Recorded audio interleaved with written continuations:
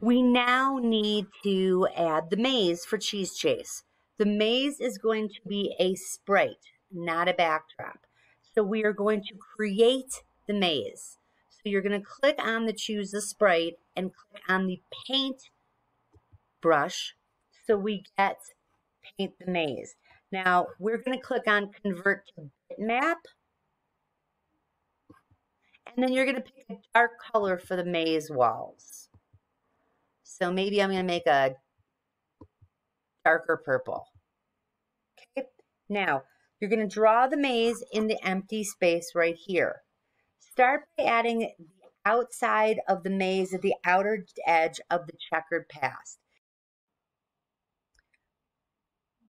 If you hold the shift key down while, while dragging your line down, it will let you draw a perfectly straight line. If you would like your lines to be fatter, you can raise the number of pixels right in that little box. And if I hold the shift key down, my line is perfectly straight-ish. So I can now draw the borders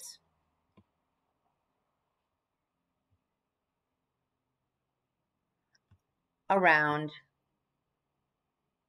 my maze. So I have the outline of my maze. Now, you want to draw your lines inside the maze, but remember, you got to make it possible to get through. So you don't want to have everything closed up. And you can make any pattern that you want.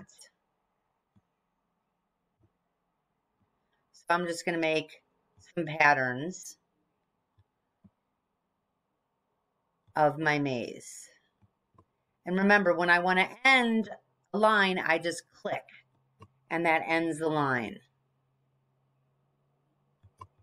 Not the best. You can do better. Now, we want to make sure that this maze is always in the middle. So when I'm on the sprite, we're going to go to code and we're just going to add a little code for when your flag is clicked, we always want to make sure that this maze goes right to the center. So right of the center are the coordinates of x, 0, and y, 0.